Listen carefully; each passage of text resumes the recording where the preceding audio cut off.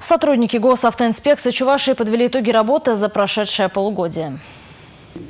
За это время на территории республики зарегистрировано около 600 дорожно-транспортных происшествий, в которых 60 человек погибли и более 700 получили травмы. В начале года отмечался рост числа аварий с участием пешеходов. Сейчас наблюдается тенденция к сокращению. ДТП, совершенных нетрезвыми водителями, стало меньше в половину. По-прежнему нередки случаи выезда мотоблоков на федеральную трассу. Как правило, они создают аварийную обстановку для участников движения. Фактически мотоблоки не предназначены для передвижения. У них совсем другое назначение. Средства для улучшения работы сельского хозяйства.